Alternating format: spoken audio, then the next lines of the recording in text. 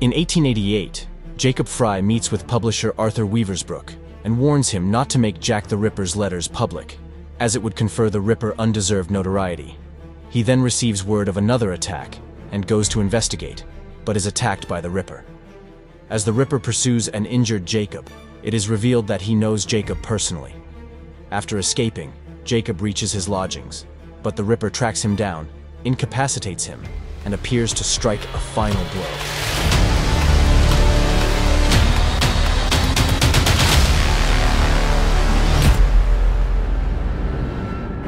Sometime after the incident, Evie arrives in London from India after being summoned by Jacob and meets police detective Frederick Abberline, who informs her that her brother is missing and presumed dead.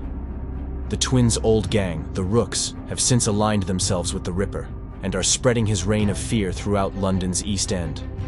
After reaching Jacob's lodgings, Evie deduces that the Ripper is one of Jacob's assassin initiates, a wayward youth she once met in India named Jack. To undermine the Ripper's control over the city and draw him out of hiding, Evie assassinates his lieutenants and frees prisoners he had been holding. Meanwhile, Jack follows her and eventually decides to set a trap for her at Lambeth Asylum, where it is revealed that he was once confined there before Jacob recruited him.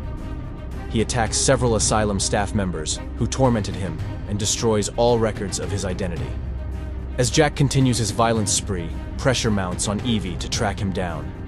Abberline soon informs her that he can no longer protect her, as she has been implicated in the attack of one of the Ripper's lieutenants, further adding that she will be arrested unless she delivers the Ripper soon. After the Ripper's final canonically confirmed attack, Evie re-examines old crime scenes and learns that all of the women he attacked were in fact members of Jacob's assassin brotherhood. She also finds messages left by the Ripper, which reveal that he blames Jacob for his mother's attack by the Templars in his youth, and that he has developed an extremist view of the Creed, so he decided to take control of the Brotherhood from Jacob and reform it. Deducing that the Ripper is waiting for her at Lambeth Asylum, Evie confronts Jack there and defeats him in battle.